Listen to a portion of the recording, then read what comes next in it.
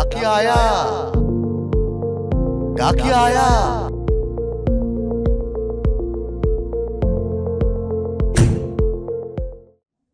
वित्त मंत्री के नाम अरमानों की चिट्ठी में आज आई है सीमा की चिट्ठी। वो हाउस हेल्प का काम करती हैं। तो आइए पढ़कर सुनाते हैं आखिर उन्होंने क्या लिखा है।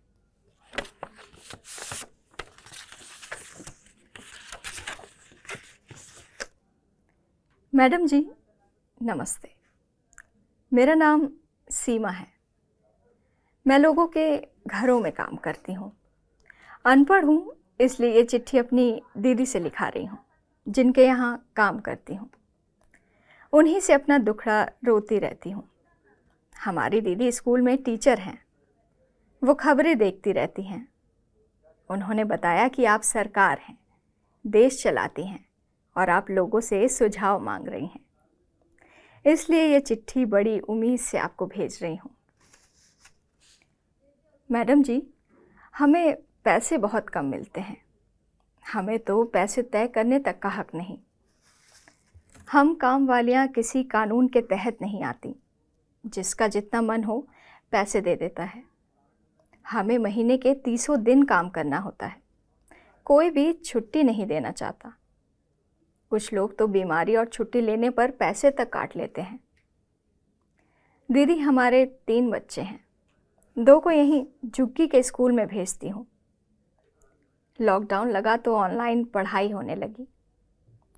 मेरे पास कहाँ स्मार्टफ़ोन, कहाँ इंटरनेट? पढ़ाई छूट गई। वो सस्ता स्कूल भी बंद हो गया। अब प्राइवेट स्कूल की फ़ीस का बोझ उठता नहीं। मैं अब रात दस बजे तक सोसाइटी में काम करती हूँ।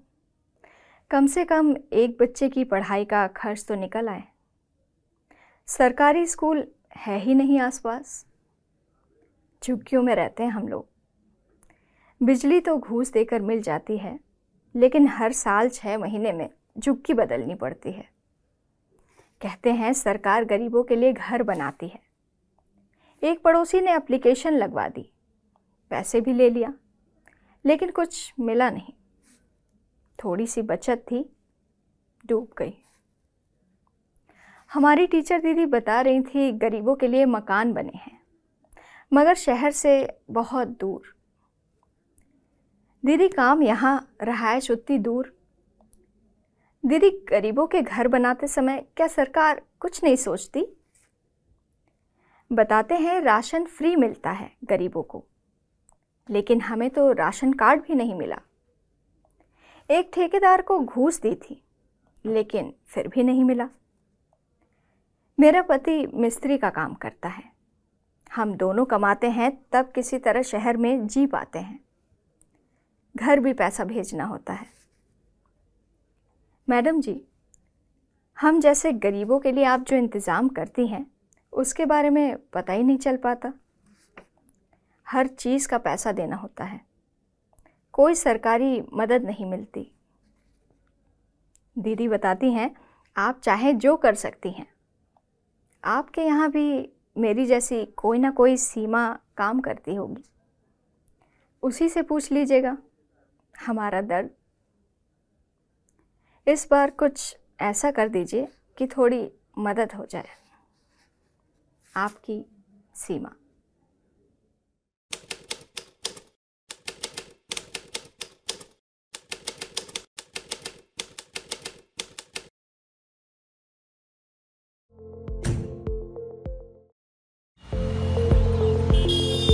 डाकिया आया।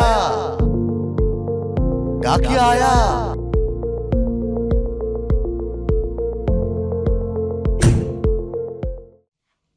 केंद्रीय वित्त मंत्री के नाम दूर दराज से चिट्ठियाँ लिखकर भेज रहे हैं लोग। उसी कड़ी में आज एक और चिट्ठी आई है। चलिए देखते हैं ये चिट्ठी किसकी है और वो क्या कहना चाहता है वित्त मंत्री जी से।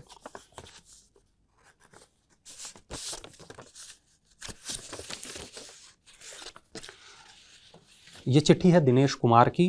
दिनेश लखीमपुर, यू उत्तर प्रदेश से लिख रहे हैं वित्त मंत्री जी के लिए अपने अरमान। क्या लिखा है उन्होंने? आदरणीय वित्त मंत्री जी, सादर प्रणाम, मैं दिनेश कुमार। यूपी के लखीमपुर में लेखपाल के पद पर कार्यरत हूँ। बहुत हिम्मत जुटाकर आपको चिट्ठी लिख रहा हूँ। आदरणीय मैडम, हमें साल में दो बार बोनस मिलता है। बहुत नहीं होता लेकिन अच्छा लगता है। पर अब इसमें से पैंसठ फ़ीसदी निवेश करने का दबाव है। पैंतीस फ़ीसदी ही हाथ में आ पाता है। यही नहीं, हर साल हमारी सैलरी बमुश्किल तीन से चार फ़ीसदी बढ़ती है। आपको तो पता ही है कि महँगाई के बढ़ने की रफ्तार इससे बहुत अधिक है। इस बढ़ोतरी में परिवार के खर्चे पूरे करने बहुत कठिन होते जाते हैं। अब अधिकारी वर्ग को तो आसानी है। लेकिन थर्ड और फोर्थ क्लास करे तो क्या करे? कई किसी किसी विभाग में साल में दो बार सैलरी बढ़ती है, लेकिन हमारे राजस्व विभाग वालों की ऐसी किस्मत कहाँ? आप देखिए कि हमसे हर सरकारी काम कराया जाता है, चुनाव में ड्यूटी लगाई जाती है, लेकिन हमें निर्वाचन कर्मी तक नहीं माना जाता, मानदेय तक नहीं मिलता इन कामों का। आबादी सर्वे हमसे कराया जाता है किसान सम्मान योजना में भी काम कराया गया। पूरा डेटा हमने तैयार किया, लेकिन क्रेडिट मिल गया कृषि विभाग को। सैलरी के नाम पर हाथ में तीस हज़ार रुपये आते हैं, एचआरए मात्र आठ सौ रुपये सोचिए इतने पैसों में कहीं घर मिलता है किराए पर? और तो और महीने में केवल सौ रुपये पेट्रोल के लिए दिए जाते हैं, स्टेशनरी के लिए भी सौ रुपये क्या भला सौ रुपये महीने में बाइक चल सकती है? एक लीटर पेट्रोल भी करीब इतने का ही है। क्या सरकार को नहीं पता ये बात? हमें न कैंटीन की सुविधा, न किसी तरह के इलाज की विशेष सुविधा मिलती है। हाँ अगर बड़ा खर्चा हो तो चालीस फ़ीसदी तक रियम्बर्समेंट हो जाता है। वहीं अगर कोई सरकारी कर्मचारी नौकरी के दौरान दिवंगत हो जाए तो अनुकंपा नौकरी के अलावा कुछ नहीं मिलता परिवार को। मैडम, बच्चों को पढ़ा रहा हूँ, लेकिन नौकरी वाली अच्छी पढ़ाई का खर्चा बहुत है। सरकारी नौकरी में न तो प्रमोशन की उचित व्यवस्था है और ना ही कोई अन्य सुविधाएँ। कई मामलों में अब तो हमसे बेहतर प्राइवेट वाले हैं। मैडम जी, सही कहें तो सिस्टम में होने के बाद भी सिस्टम से त्रस्त हूँ। थोड़ा रहम करिएगा। मैडम जी, पुरानी पेंशन की बहाली पर थोड़ी उदारता दिखाइए। कम से कम पेंशन का तो भरोसा हो सके। मैं बजट को बहुत उम्मीद के साथ देख रहा हूँ। भवदीय दिनेश कुमार।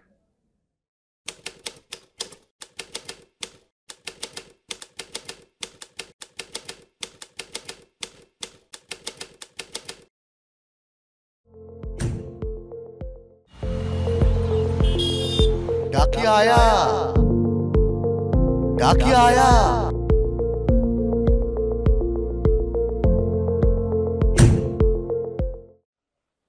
एक और चिट्ठी आई है। देखते हैं किसकी है।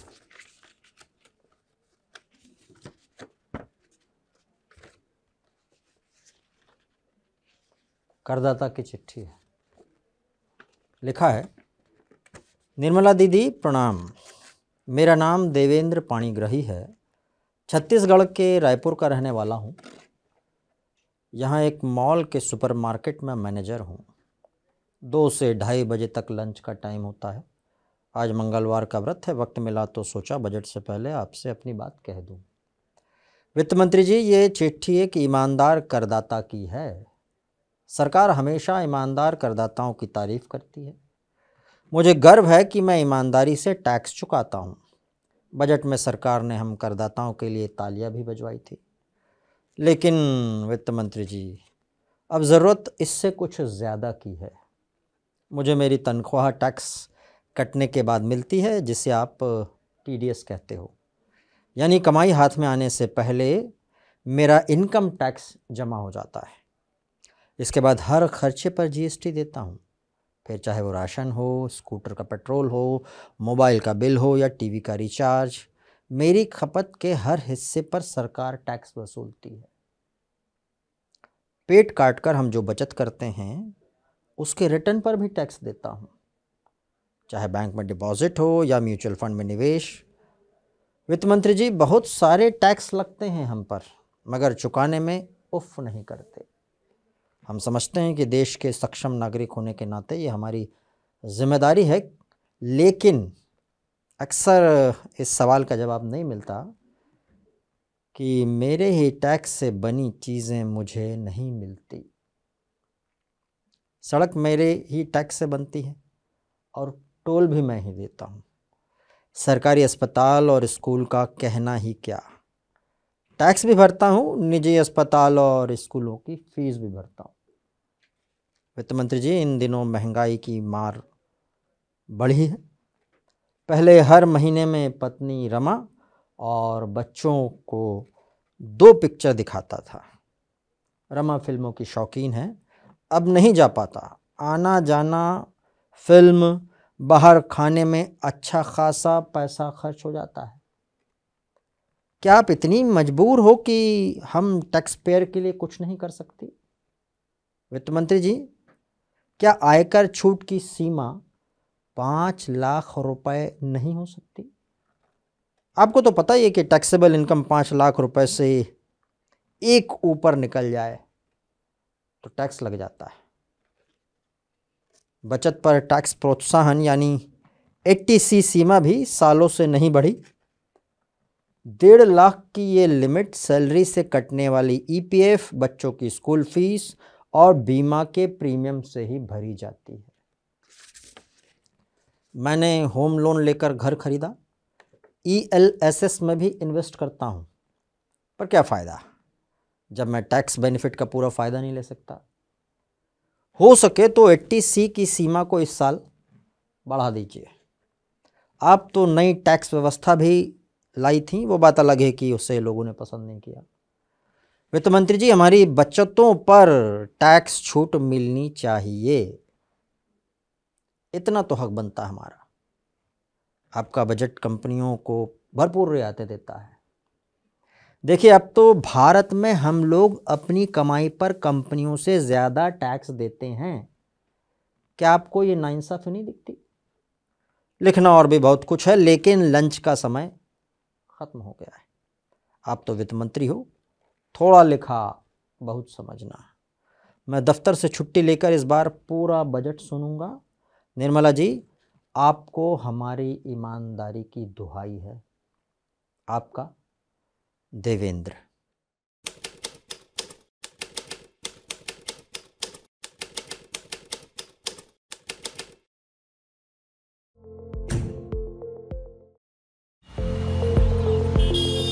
डाकिया आया।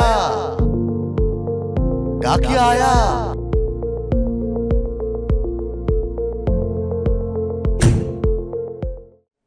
वित्त मंत्री के नाम अरमानों की चिट्ठी में आज हमारे पास है एक बेरोजगार युवक की चिट्ठी। तो चलिए आपको सुनाते हैं वो इस चिट्ठी में क्या लिख रहे हैं।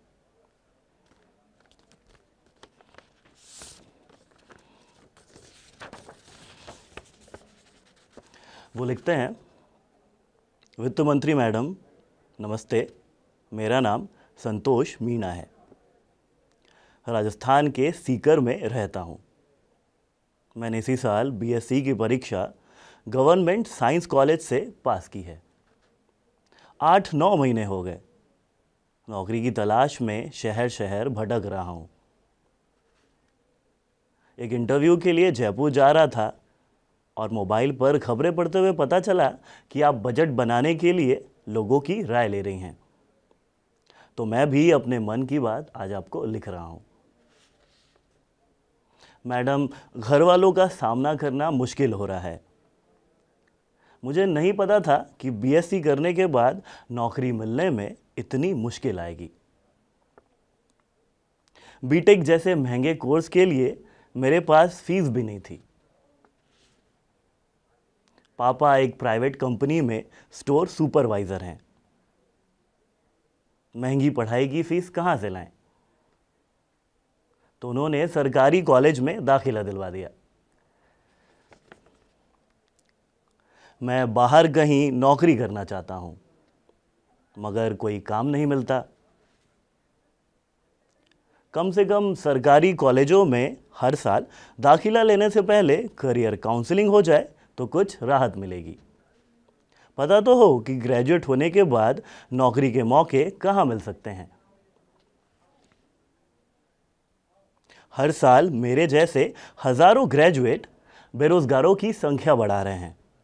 कल पिताजी भी कह रहे थे कि नोएडा, दिल्ली के सपने मत देख, जहाँ प्राइवेट नौकरी मिले, कर ले।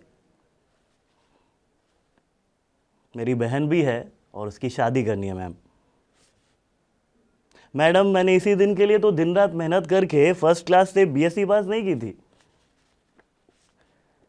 मैडम, सुना था सरकार कोई नई शिक्षा नीति लाई है। मगर हमारे कॉलेज तक तो वो पहुँची ही नहीं। अब जहाँ जाओ, हर कोई ट्रेनिंग माँगता है। कॉलेज ने तो इतनी फ़ीस लेकर भी कोई ट्रेनिंग नहीं दी कि जिससे मुझे काम मिल सके। कैंपस प्लेसमेंट जैसी चीज़ें सरकारी कॉलेजों में हो तो कितना अच्छा हो जाए। मेरे जैसों को नौकरी मिल जाएगी और उद्योगों को अच्छे पेशेवर। कुछ करिए मैडम। अब तो फौज में भी स्थायी नौकरी नहीं मिलती। चलिए, मेरा बस स्टॉप आ गया है। इसलिए अपनी बात यहीं ख़त्म कर रहा हूँ। अगर इंटरव्यू में पास हुआ और नौकरी मिली तो आपको ज़रूर खत लिखूँगा। नमस्ते, आपका संतोष मीणा।